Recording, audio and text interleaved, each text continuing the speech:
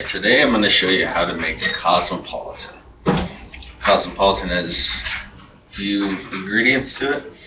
First off, your juice is going to be cranberry juice. Your liquors are going to be vodka and triple sec.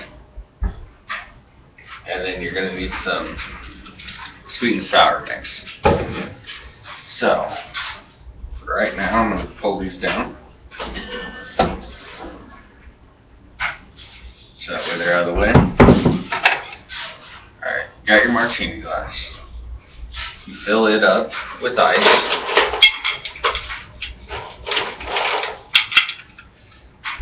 And then a little bit of water. To chill the glass off. Can set that aside. And we're going to spend the rest of the time our, making our drink.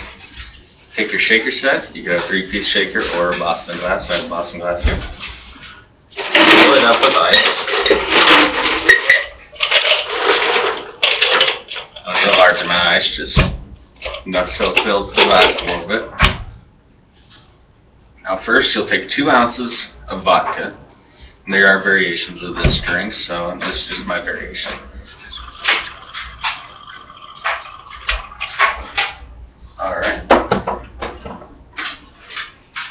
Half ounce of triple sec.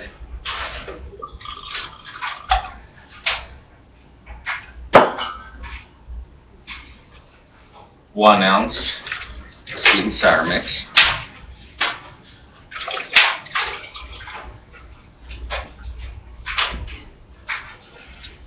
And then two splashes, pretty good sized splashes of cranberry juice.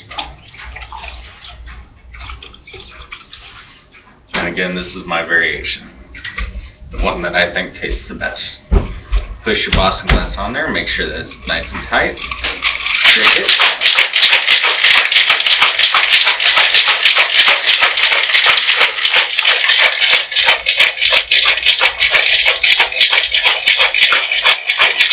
Goal is just to get it as cold as possible. It's never going to be colder than it is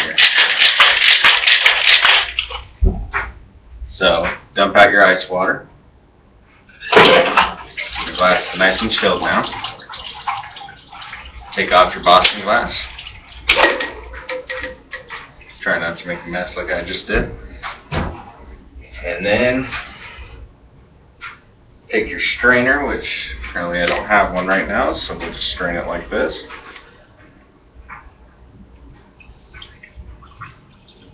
It should be a nice pink color. So they say beware of the the red Cosmo. You don't want a red Cosmo, you want it to be a nice pink color. That's why it's kind of got a reputation as a girl's drink.